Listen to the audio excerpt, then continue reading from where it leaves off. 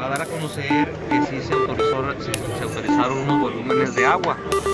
Eh, ¿Cuánto? eh, 50 millones. De los 100 que pedimos, eh, se autorizaron 50.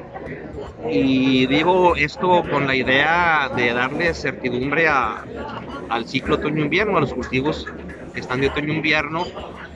Y supuestamente nos au- autorizó la totalidad solicitada para no favorecer cultivos que no fueron autorizados De primavera-verano. de primavera a verano. Entonces, eso sí, de- dentro de, de la tardanza y todo eso, lo bueno es que si van a autorizar esos volúmenes y pues ya los módulos van a estar un poco más tranquilos para seguir con sus programas. ¿Les alcanzará entonces para el último riego de maíz del otoño-invierno?